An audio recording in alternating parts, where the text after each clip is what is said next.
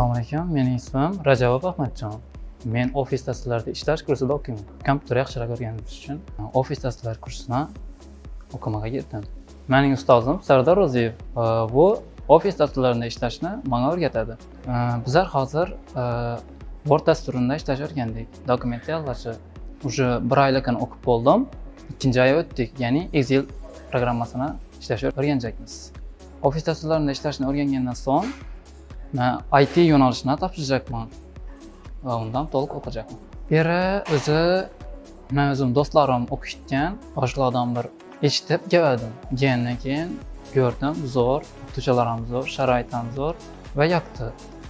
O'qish ham zo'r o'qituvchim tushuntirish ham zo'r zo'r tushunib qolyapman sardor ro'ziyev ustozim bizlar darsda bugungi darsini o'tib bo'lib agar vaqt qolsa darsdan tashqari любой savol bersak xohlagan savol bersak o'rgatadi.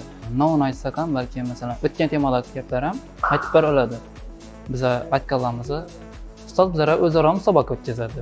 Ya'ni tez yozishlar yoki любой bir dokumentni tezroq tayyorlash ya'ni taymer qo'yadi yigirma minut va shu dokumentni hammadan birinchi aytib borishimiz kerak tayyorlab. Va shunga ball qo'yadi. Shundan bizlar bilimlarimizni bilib oladi ko'rsatkichlarimizni. Mening maqsadim it yo'nalishini chuqurroq o'rganish va kelajakda programmist bo'lish.